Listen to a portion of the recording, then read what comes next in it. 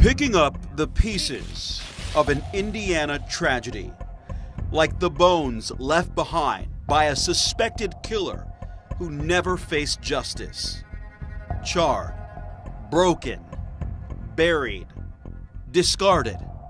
More than 20 suspected homosexuals have died violent deaths. Authorities believe all of the victims frequented gay bars here in Indianapolis. If they murder one person, they're not going to stop. It almost appears Mr. Baumeister was leading a double life. The suspected crimes of Herbert Baumeister made news for more than 15 years before his name was officially tied to the murders of 17 identified men and boys. This is most likely the largest mass murder, at least in this state, if not in the Midwest. 10,000 bone fragments unearthed on Baumeister's former property, Fox Hollow Farm in Westfield. These people were placed on a shelf for 26 years and they were forgotten. And they're no longer forgotten. Now, a new effort to identify the nameless victims. I want to give as many people the closure that they deserve as well. To understand why the extent of Herbert Baumeister's cruelty remains a mystery, you'll hear from some of the people who were closest to the case. Two women whose families were forever changed when their brothers disappeared. We talked about every day, and Manuel wasn't calling. My brother was young and he was innocent, you know. He was an innocent kid no matter his lifestyle. A private investigator who listened to the stories and fears of a group thought by some to be on the fringes of society. We found out real quick that there were a lot of missing people, a lot of missing gay people in Indianapolis. A man who saw his friends disappear as a killer preyed on his community. It is part of our gay history. It's a, it's a horrible chapter and not something to just flip the pages and gloss over and go on. Two former prosecutors who could now look back on the case and its abrupt ending. And he knew we had the evidence. He knew what was out there. He knew that people were out digging up his backyard. How could this have happened in our community? How could it have gone on for so long and involved so many people without uh, somebody catching on sooner? Hundreds of pages of documents paint a picture of an investigation into a man's double life.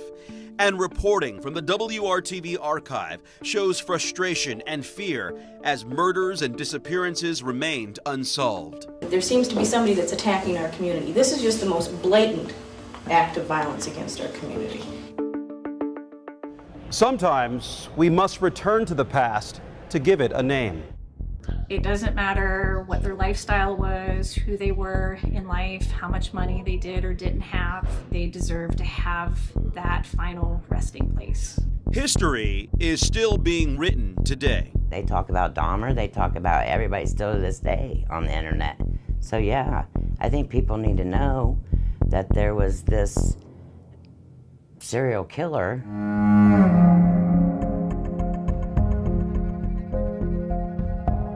Stories like this are never truly over, and the next chapter of this story begins in November of 2022. Jeff Jellison is elected Hamilton County Coroner and wastes no time spreading the word about a major mission for his office and scientists across the state. Blessed that I was presented the opportunity to lead this initiative. I believe I was put in a place to do that. The reason I'm doing this is to give closure. But you also got to understand, I've got a statutory duty to do it. My job, by statute, says that the coroner is responsible to identify the deceased in this county. I do what I do as a forensic anthropologist out of respect for the decedents. That's my obligation, is to be able to provide them a voice when they no longer have one. The bones have remained in storage at the University of Indianapolis since being found. Jellison hopes new technology can help them identify more victims. 1996, DNA was relatively new, especially at the local law enforcement level. The coroner's office decided to organize a group of experts that might be able to address some of the challenges surrounding this particular case. Many of the fragments were burned and were exposed to the environment for extended periods of time. We have 10,000 remains right now on our hands. We need to get those to laboratories believe there's as many as 25 or more people that are represented in those remains. And understand some of those remains are as small as a fingernail. I am driven to identify those remains, to provide those people, because that's what those, those remains are. They are people. They're someone's brother, someone's son, potentially someone's husband, and they're sitting on a shelf at a university in a box or in plastic bags or however they're stored. And those folks deserve the opportunity to a final resting place. They either weren't reported missing, or there's not family reference samples on file, or we just don't have the information we need in order to identify them. And we look at them as being almost forgotten in life and being forgotten in death. If you have someone missing, please let us know. We'll get a DNA swab from you. We'll get that entered into the missing person database. So now when we start testing those bones or developing DNA samples from those bones, we've got something to compare it to. I wondered, and I got the horrible news. It's worse, in my opinion, to wonder because you don't know. If you get your brother or your son's ashes back, uh, at least you got something there if you want to go to a special spot and talk to them. You can't if you don't know where he is. I don't wish that on nobody. I mean, at least we had some form of closure that we had something. They never had anything, so I'm sure they're wondering, waiting for them to walk in the door, probably still today, you know, like I did. And that's tough. My name is Debbie Falls. I grew up in southeast side of Indianapolis on Bradbury. It was a good time. You know, uh, you thought you could trust people a lot more than today. We call him Richie. Yeah, his name is Richard Douglas. I think I was like 17 when he went missing. He was um, eccentric a little bit, you know. He was really smart. Uh, he was real tall, you know, real long arms, real long legs, and um, he was just everybody's friend. You know, he wanted a place to fit in, you know, because he was so tall and so lanky. You can pick any word out of the dictionary, and he would spell it forward and backwards. I mean, he was he was smart. He was a little different. He would stand up for people, and he loved people. You know, he was just really a genuine good good soul. His voice. I could still hear him. And he was funny. Manuel Resendez. He was just a really, really nice, kind person. Manuel, he's number 10, I'm number 11, and 16 kids. And he's the first one in our family to graduate. And Manuel just decided. And he went out there and he worked his butt off and he got his own senior pictures. He played every instrument. He started out with the cornet and went to the clarinet, saxophone, flute. He played the music. He hung with this child. That was his little buddy. And they did a lot of stuff together. He's got a granddaughter now that he never met. And he got things going for himself. He, and, and he was the first. He was the first in our family every time. It didn't matter what it was. Good stuff. For as young as he was, for the little life that he did have, he was a good person. I knew that, you know, he wanted to get married, you know, and I know he had a girlfriend. He never came to me and said, I'm gay, or I'm bisexual, or I'm any of anything. You know, he never came out to any of us about any of that. It was many years that went by that we had no idea what even happened, you know. We were searching for him. I'm really not sure how he ended up where he was when Herbert Baumeister found him. He worked at a, um, like a group home or something like that in Lafayette. He was kind to those kids. He helped those kids and he did everything he could for them. And he came up missing, okay? And people were upset because a gay guy was working at a boy's home. He didn't keep it a secret and They loved him there at work, and people were upset, not even even thinking about the fact that he was the victim. The 1990s, a decade when there was a push and pull to tolerate and accept homosexuality. On one hand, some people embraced the idea and fought for rights. On the other, so many resisted it.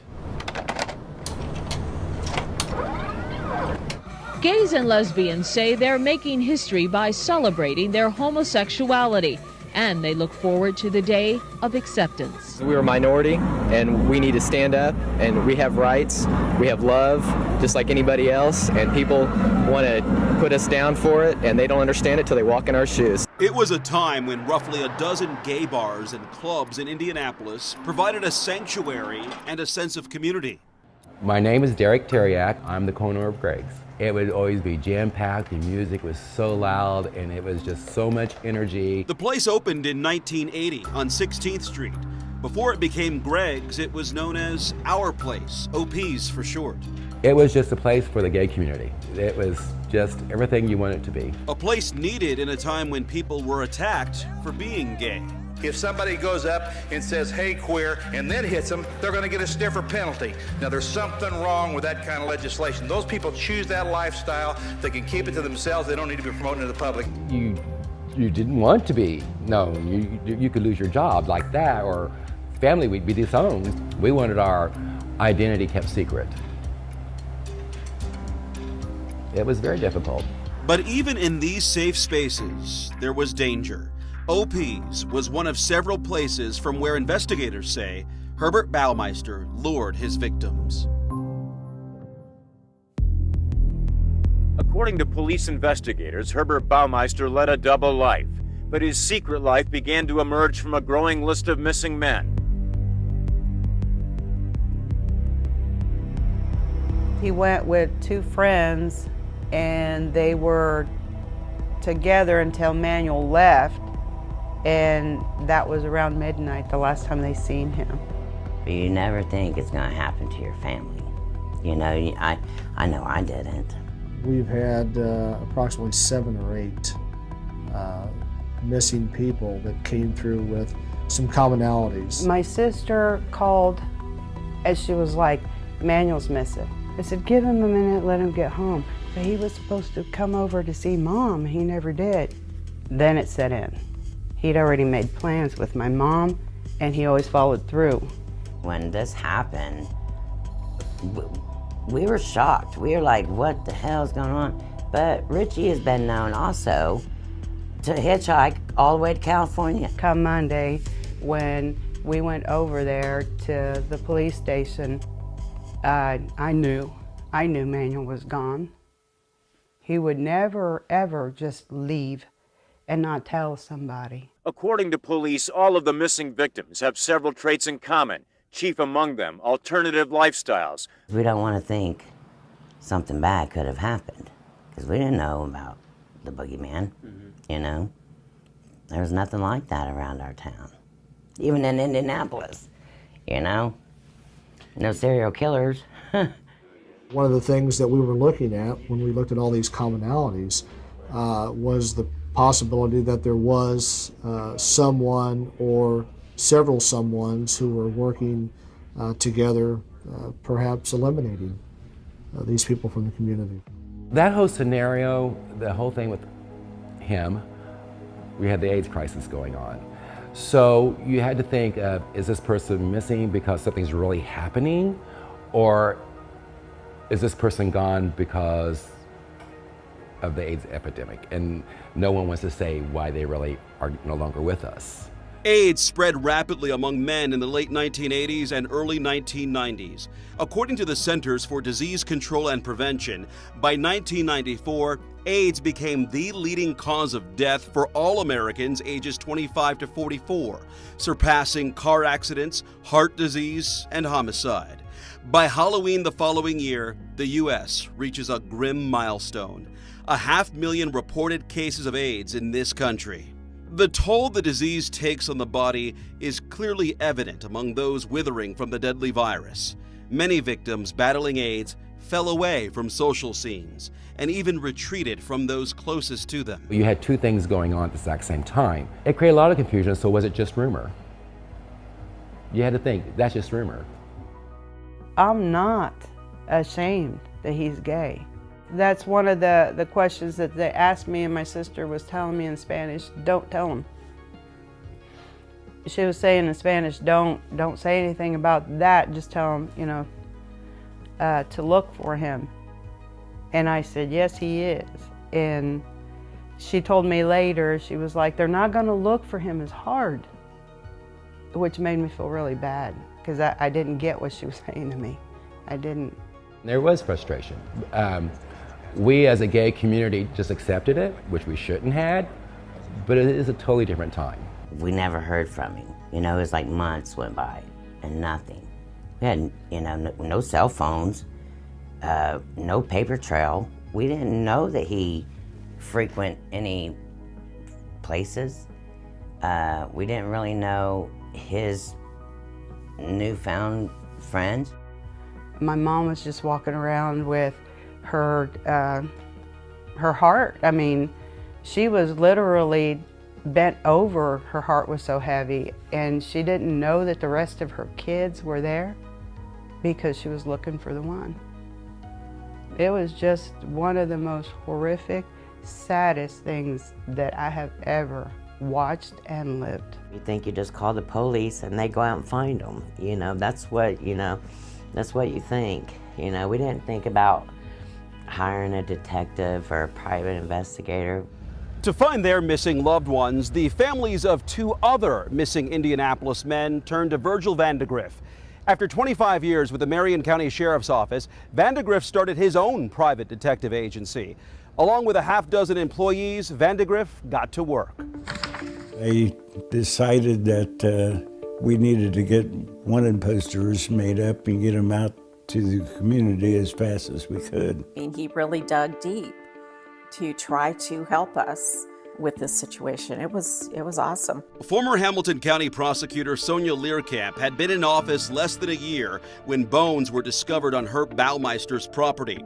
Leerkamp and former deputy prosecutor Kathleen Clark say Vandegrift played a key role in the early days of the case. Having an independent investigator, especially one that other investigators know and trust, um, is is a fantastic thing to have in an investigation.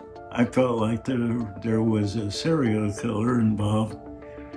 And with that, I put together a profile of what I thought the person would be like that we would be looking for.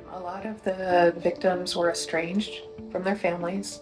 It wasn't unusual for a lot of them to drop off the family radar for long periods of time. So a lot of these victims, I think, went unnoticed for a while. Serial killers sometimes pick on um, not just gay communities, but example, prostitutes or uh, people along those lines that society itself um, doesn't pay a lot of attention to when they come up missing. They may have been reported missing, but nope, it wouldn't have crossed their mind that somebody in Hamilton County would have taken them up to their home and uh, perpetrated this kind of crime. It was just a matter of uh, zeroing in on who. He was very strange. I don't know what part of them they saw, but I saw a different man. How's that even happen? Like the guy that just murdered your brother, or found to murder him, is right here, and I've been working for him this whole time. That's weird. Still to come, what Debbie Falls remembers to this day about the hours she spent with the man later connected to her brother's death, and how a would be victim helped detectives crack the case after surviving a night with Herb Baumeister.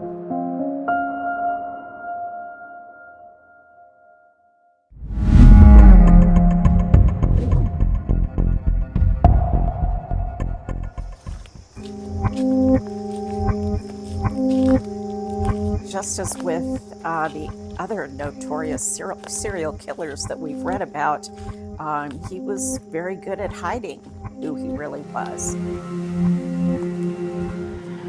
Investigators know that Baumeister played one role of husband, father, and businessman.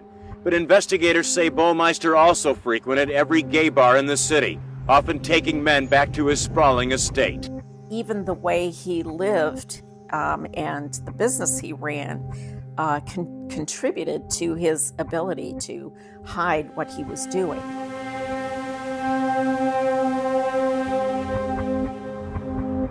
Him and his wife um, ran a business. It was a non non for profit. It was supposed to be. I worked for him. I was an employee at the Save a Lot thrift store. I sorted through all the clothing, and that went out on the front like Goodwill to sell on Washington Street in Indianapolis. My brother was missing at the time. There was nothing fancy. He wasn't distinguished. He was not even verbally um, communicative. He would sit back there with me and sort through those clothes and not say a word to me. I took a paycheck from this man. Uh, he killed my brother. Um, he could have killed me if he would have known if that maybe I put an inkling to it.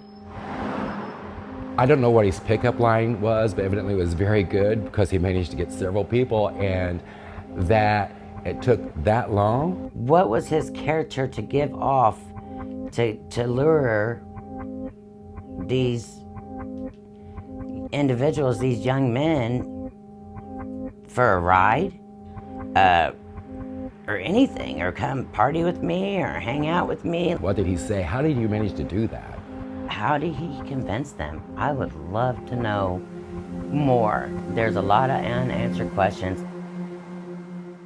It is the summer of 1994. Over the last year or so, at least nine men have disappeared from Indianapolis. Virgil Vandegrift and his team are working the case. I realized then we needed to step up the investigation. We did come by an informant that had been with, uh, at the time, the suspect, uh, and went to his house with him, spent an evening with him. Baumeister had attracted the attention of Indianapolis police. An informant told them he met Baumeister at a downtown bar and then later went to Baumeister's residence. In a conversation with Hamilton County investigators in July of 1996, Mark Goodyear describes going to Fox Hollow Farm about two years earlier with the man who introduced himself as Brian. Brian told Goodyear the estate belonged to his boss. Goodyear tells investigators they discussed bondage, fetishes, and erotic asphyxiation, a form of choking as a sexual act. While there, they had an encounter in the swimming pool where the survivor was in the pool, and Mr. Baumeister came up behind him and, and placed a pool hose around his neck. While talking to Hamilton County investigators, Goodyear says the man known as Brian pointed out how easily an accident could happen. In his own words, Goodyear says the indoor pool area was set up for an encounter that night. He had everything ready. He was planning on bringing somebody back to the house that night. If it hadn't been me, it would have been somebody else.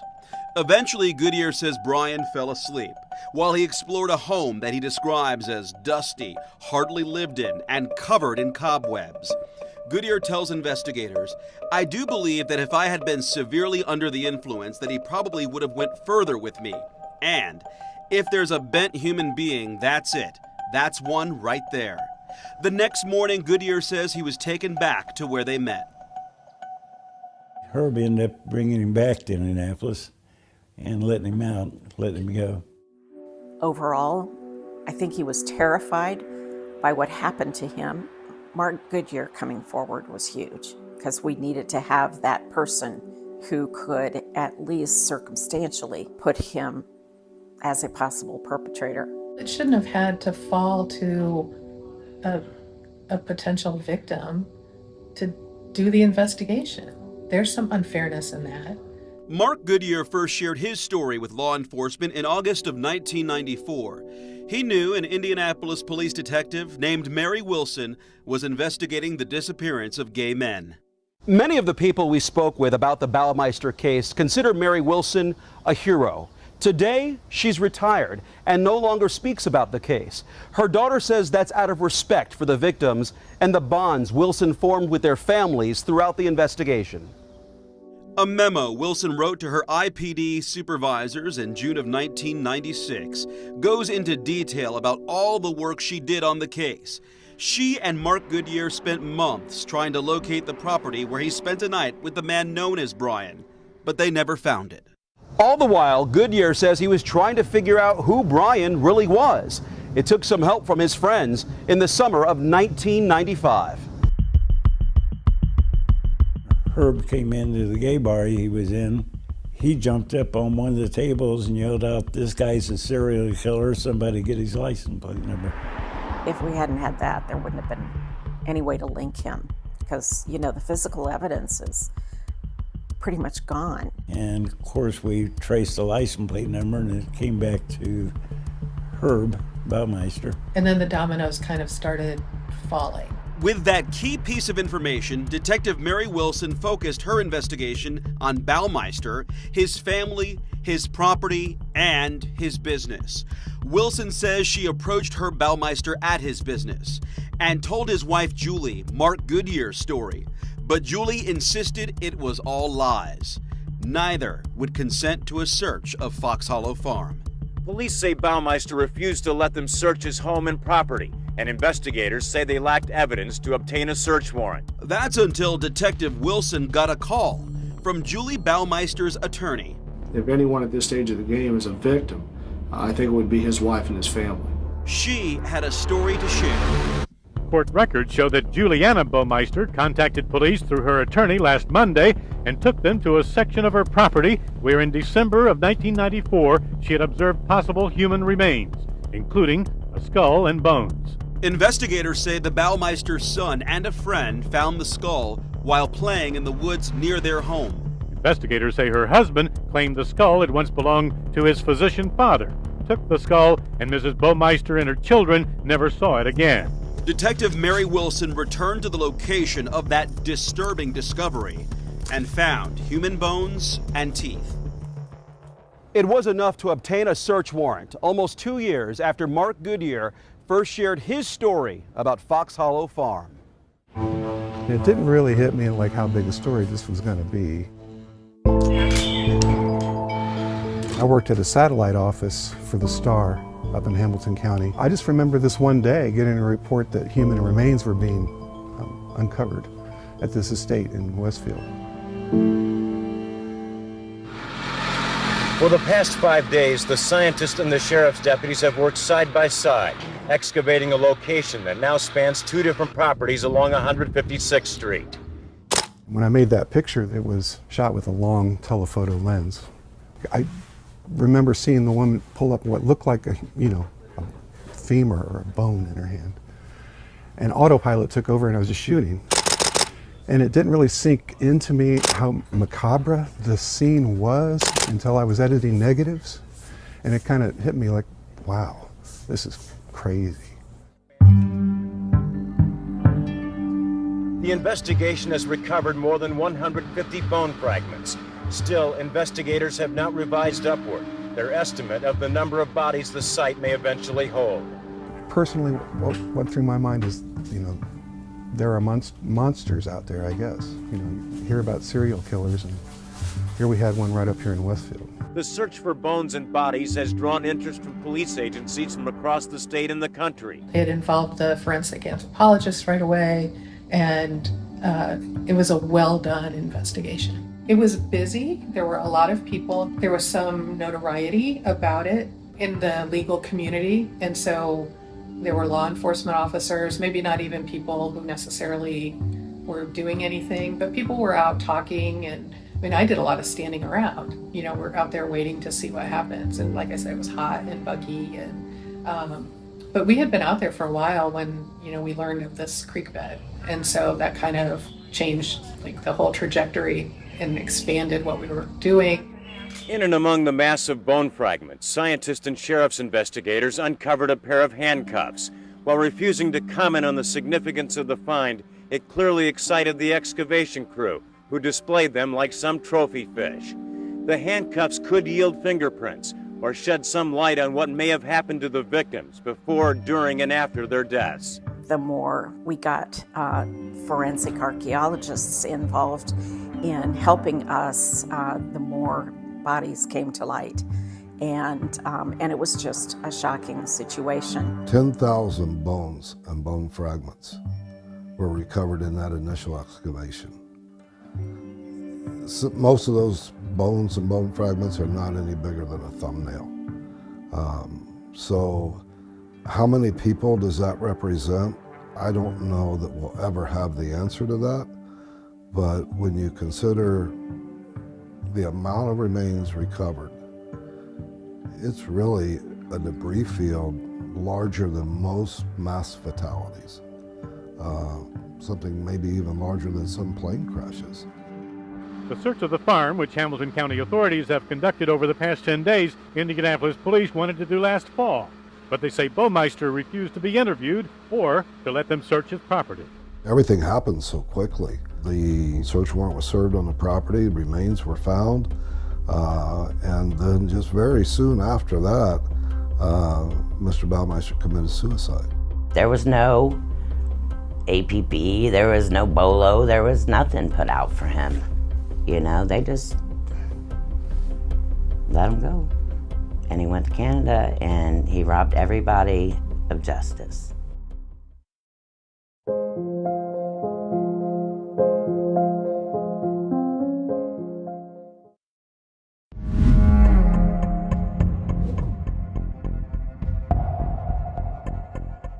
The woods have yielded more bones and more bodies. This latest discovery only deepens the mystery about the identity of the victims and the reasons why they never made it out of this gently rolling estate in Hamilton County. I would consider it bizarre. I mean, you know, we're finding human bones. Uh, it's not at a gravesite. Police had found the remains of five unidentified people, spent shotgun shells, and handcuffs when Baumeister was found shot to death in Canada.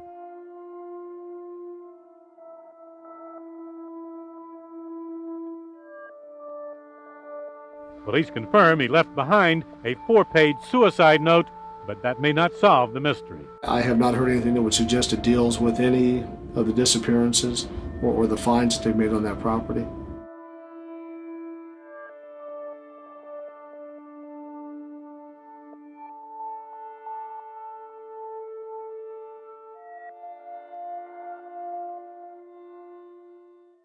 Chicken shit is the word that comes to mind. And I know that's not very proper, but, um, you know, he spent a lot of time and a lot of effort and uh, used his intelligence to accomplish um, what he sought to do, as evil as it was.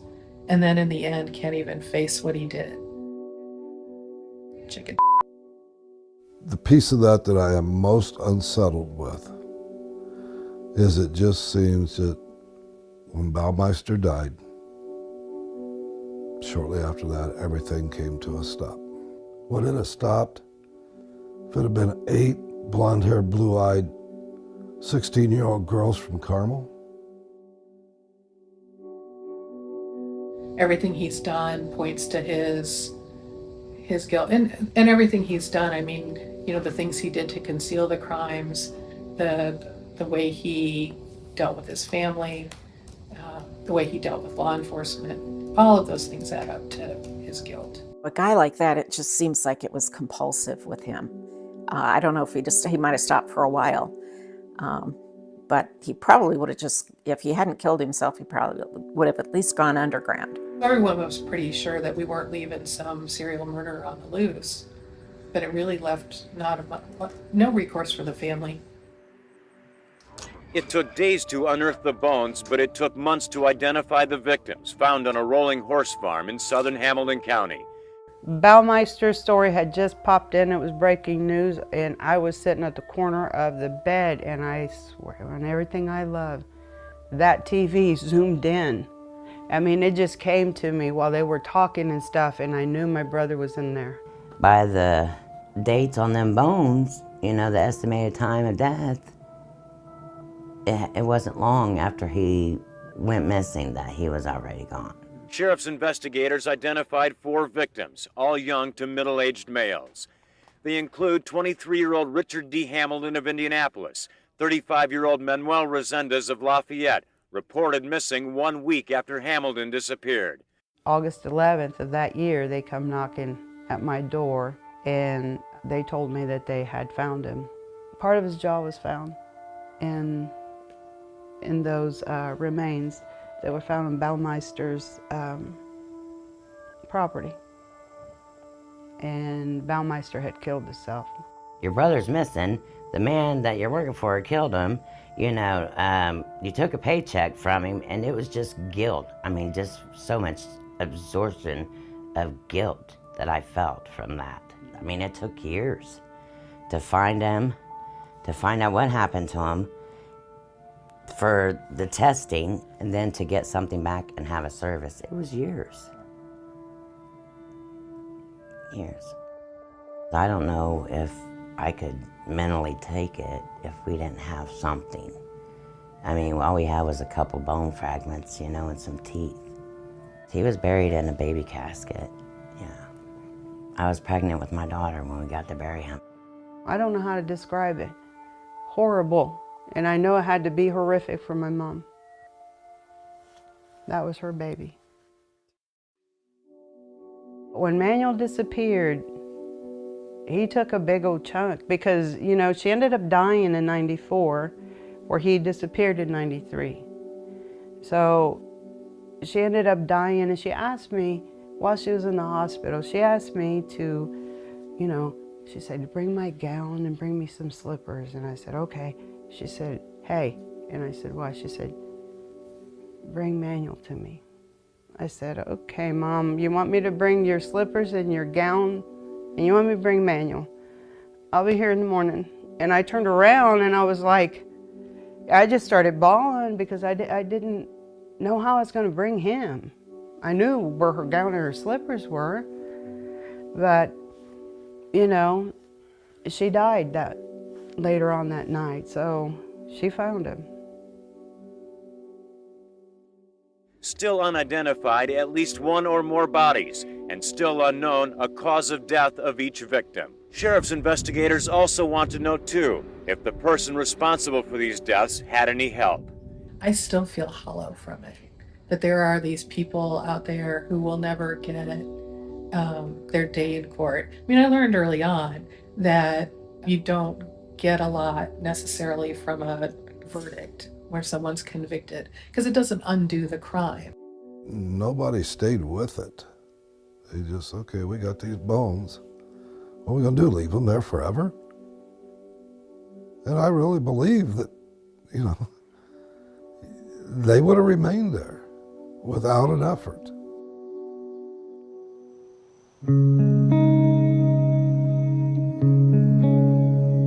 To this day, no one knows exactly how many people Herbert Baumeister killed, making it an even bigger challenge to identify his victims. His name might not be as recognizable as Dahmer or Gacy or people like that, but I think his actions certainly parallel, if not takes him to the forefront. He's in that league.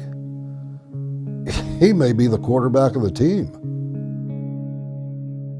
Based on remains and reports of missing men, investigators believe Baumeister may be responsible for 25 deaths. But for 16 years, no one could connect him to the crimes. And for a time, he wasn't the only serial killer at work in the same part of the country, targeting young gay men. In the past couple of years, at least a half dozen local men have been found dead in rural areas surrounding the city. One strangled, two stabbed, others with no determined cause of death. The bodies began turning up in 1980. Victims between 14 and 26 years old, strangled or stabbed, left in rural areas across the state.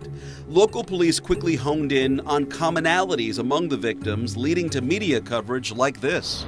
For most, if not all of the murder victims, this time of night and these places in downtown Indianapolis were part of their lives. They were known hustlers, Young men and boys who walk these streets selling sexual favors for a price. Leaders in the gay community spoke out early about the way these victims were being portrayed. The focus was not on the tragedy of this boy's death, but the focus then became to identify what they claimed was the gay community. The media frequently um, either contributes to our invisibility or contributes to the notion that we are extraordinary in um, insofar as our lives are concerned. They tend to see us only in terms of our sexuality. In May of 1983, local police departments met with the FBI to compare notes on the murders. One of the methods they will use to try to link these cases is a technique known as psychological what that profiling. technique involves is looking for psychological evidences of the base motivations of the perpetrators. Still, they couldn't officially determine whether the cases were connected.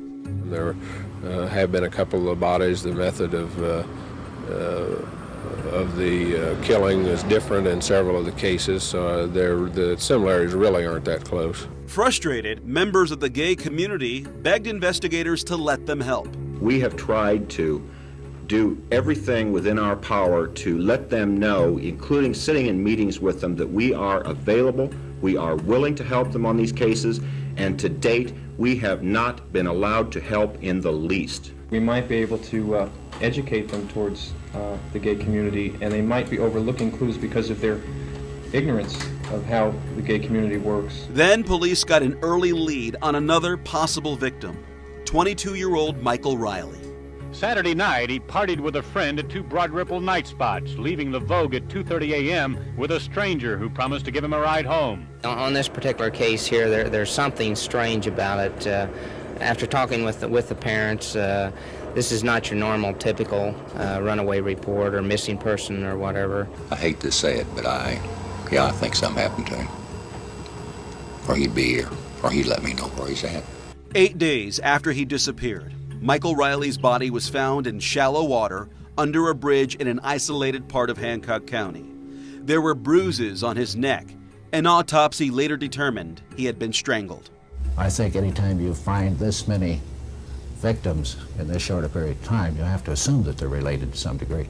By June of 1983, a task force representing investigators from nine counties, local police departments, and state police began digging deep into eight of the cases. But investigators leave a strong impression that the task force will be operational for several months, if not a year, at least until all the leads have been exhausted or the murders have been solved. A tip led the task force to a man named Larry Eyler, originally from Crawfordsville. Eyler's arrest in Illinois for a similar murder there was secured mainly by the work of the Indiana investigators. But for their own cases, they have just circumstantial evidence. A lot of it, but still just circumstantial. The task force questioned him, but they had no grounds to hold him. So they had to release Eyler. Months later, Eyler was arrested again. August 21st, 1984, a young boy named Danny Bridges uh, is found in a dumpster behind the apartment where Larry Eyler lived. He was charged with the murder of Danny Bridges, and then he was convicted and sentenced to death. With Larry Eyler in prison, the task force eventually ended. But the work of the serial killer known as the I 70 Strangler continued. By 1990, investigators in central Indiana and now Ohio are once again looking into the murders of men with ties to the gay community. Law enforcement officials hope that the latest murders do not stump them for as long or claim as many lives. For the record dating back to 1985, five bodies have turned up in Ohio. The latest corpse remains unidentified. All the victims were strangled and all hailed from central Indiana. Authorities believe all of the victims frequented gay bars here in Indianapolis. In August of 1991, the last victim of the so-called I-70 Strangler was found. Herb Baumeister and his family moved from the northeast side of Indianapolis to Fox Hollow Farm five months later. The killings seemed to stop while men continued to disappear and eventually turned up somewhere else. Turned earth at the farm has turned up more than 150 bone fragments, some of them charred.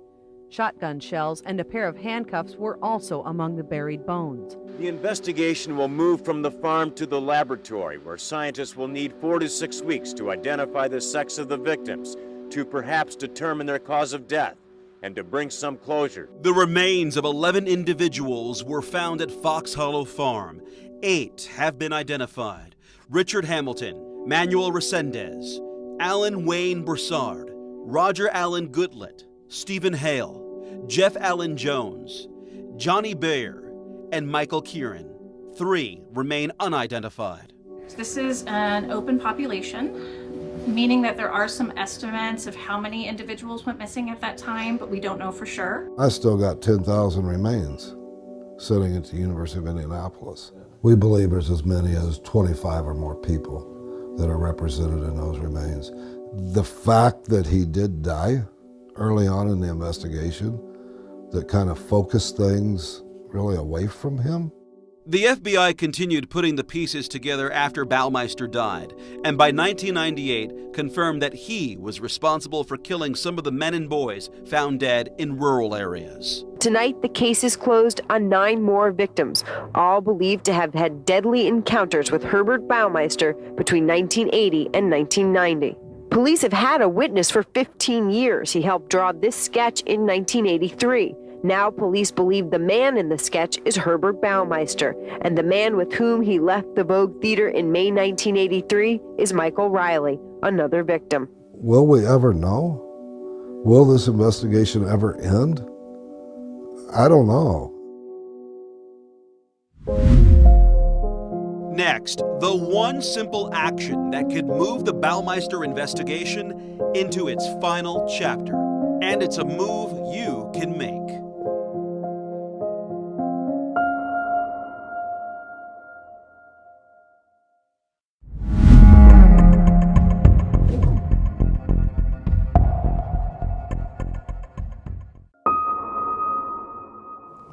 His voice. I could still hear him.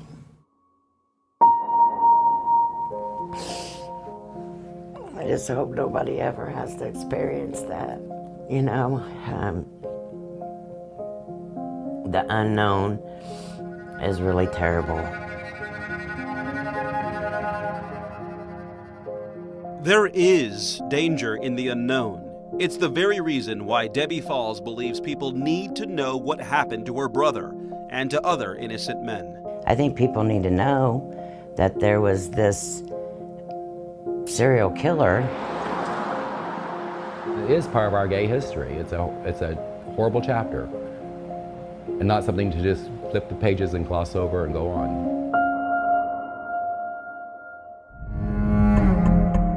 This is a piece of history. This is most likely the largest mass murder, at least in this state, if not in the Midwest. People need to be careful, and they need to, just because somebody's nice to you, that don't make them your friend. Don't go with these people.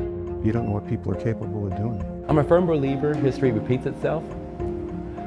may not be the exact same time period, won't be the exact same person, but history repeats, and it can happen again. It's not just a couple deceased individuals. It's many individuals. I, I think that's worth telling the story because these people deserve to have their story told.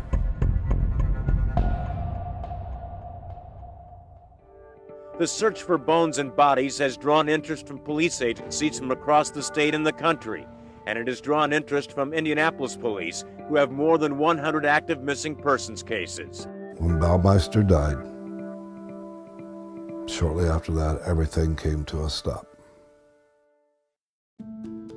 It was a different climate in the middle 90s. Um, I think some people looked at this in this county, in Hamilton County, conservative Hamilton County, and said, suspect's dead. These are gay men from Indianapolis. Why should we do any more? We're learning more about the process to identify the remains of more than a dozen people found 26 years ago on the former property of a notorious serial killer. No longer forgotten. That sign hangs there for a reason, is to remind us every day that these remains are people. And for 26 years, nobody did anything. They were forgotten. That's, that's not right. I, as a sister, I cried really hard for my brother, but I watched my mom, and that's why I keep saying it's going to be good news for the mothers that are still alive because this has been 30 years. My mom had to pay, you know, to get, you know, some of the bones tested to find what were of my brothers um, so we could bury him. And there was people in there with brown bags that didn't have nobody picking them up. Closure for two sisters years after their brothers disappeared. It's not enough to stop their grief, bring back their loved ones, or answer the unknown questions surrounding Herbert Baumeister. But our questions now focus on the unnamed victims. Who were they? Do their families have the closure they need? Even if you don't want to take the remains and bury them, even if you don't want to have anything to do with the whole situation, just know. And let the person be identified. Don't be a John Doe. Because I could have a friend there and not know it. It's really important that any family members that had a loved one go missing in the 80s and 90s provide family reference samples. If we do not have family members of people that were missing during that time come forward, our investigation is going to come to a halt pretty quickly. We have to have comparison samples. We need to make sure that we are attempting to identify every fragment in order to identify every individual and be able to provide as much of that individual as we can for the family members to have some closure. I hope they get at least peace of knowing that they have something of their loved ones. I think they need to go home. I think that uh, there's mothers like my mom that has went to heaven and have found their child there, but the ones that are still here need their babies home.